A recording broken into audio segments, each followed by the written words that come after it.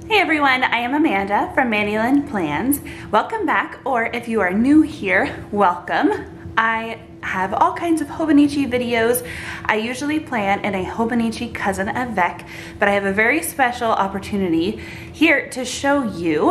Um, I am a part of this Hobonichi journey. Now this is a Hobonichi Weeks, and it has been traveling the country. I am number 25 of 50 people involved and um, the goal is to have one person in every single state decorate a week out of the year. Of course, there are 52 weeks, and so it's just about perfect. I do want to go ahead and tell you the states that the creator of this is still looking for. And if you are in one of these states and you want to participate, I will put um, a link to the Facebook group and everything how you can get a hold of her.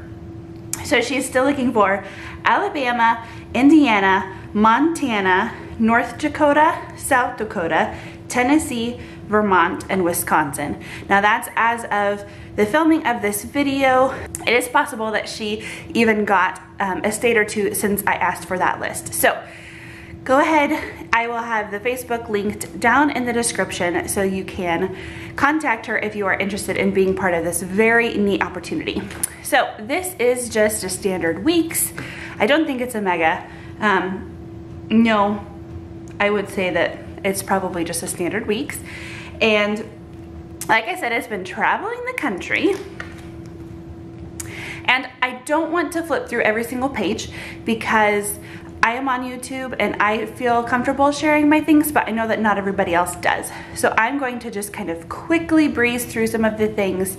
There's personal information here. People have been writing little notes.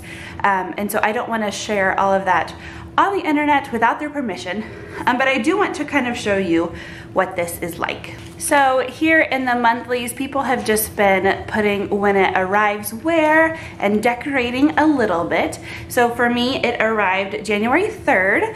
I am filming this on the 5th and um, if you have been watching my channel, you know that I'm gonna be gone a couple of weeks. My husband and I are camp directors these two weeks. And so because of that, I am actually putting it in the mail later this afternoon. It is going to Michigan, so that is very exciting.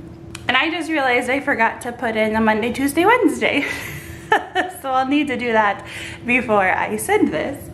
And then after the monthlies, as always, we get into the weeklies.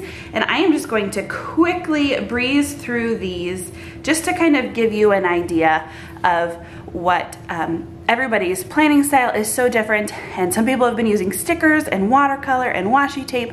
And it's so fun to see how everybody else plans. So I'm going to quickly just flip through these to give you an idea of what it's like. So it has definitely been very, very fun to see how everybody else plans. This is the week that I designed. It is the week of 4th of July, and I have always wanted to try doing the Hobonichi weeks vertically. You know if you watch my channel that one of my big hangups with the Hobonichi weeks is that it is horizontal. My brain does not think that way. I have to have my day laid out in a timely manner like this and one of the reasons the cousin works so, so well for me. Um, I had never tried one of my kits vertically and I wanted to try it. Um, one of the reasons that I did not include the days of the week and the dates on the actual sticker is so that if you wanted to turn it this way and do Monday through Sunday, you could. And if I printed on the Monday, Tuesday, Wednesday, you would be forced to leave it like that. So I'm gonna go ahead and show you what I used because it might not be quite what you're thinking. So I used the weekly kit for the washi. So here's what's left over and the check boxes. And then I tested out to see if the B page with the weekly kit worked and they are too long to fit into these. So what I wondered is if I could get the monthly labels to fit because they're smaller and I could. So I used the monthly washi as you saw on the July page and then I grabbed the monthly labels from these two pages and then these boxes as well fit really nicely in here. So if you are really wanting to make the weeks work for you and you can't get the horizontal layout to work and you want to try this vertical layout, these monthly stickers will work for you. Um, if there's enough interest, I could make a kit combining the first page of the weekly and the second page of the monthly. Um, I'm not gonna do that for a while until my shop reopens. I am on vacation as we um, are camp directors and having a baby at the end of the month. Um, but I just wanted to show you. I was so excited whenever I found this little hack. Um, they're not perfectly, like they weren't designed to be used this way. Um, so there's just a little tiny gap on either side of the sticker. Um, and then the scripts are just a hair big, um, but most of them fit really, really well still. So just wanted to let you um, kind of see that in action if that is something that you are interested in. And then probably one of my favorite parts of this little book to look through is um, the notes pages that everybody has added.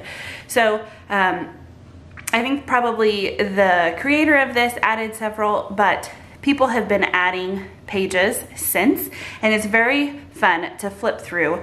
And again I'm not going to show you each page individually because there is some um, personal information but I have really enjoyed looking through. We have favorite quotes and favorite washi tape and favorite just anything you can think of books they're reading shows they're binge watching on I mean all kinds of things so just kind of quickly flipping through to give you an idea some stickers, some fountain pen some birthdays, more stickers, a little bit about the people, and then some favorite washi tape. So again, this is a very fun opportunity.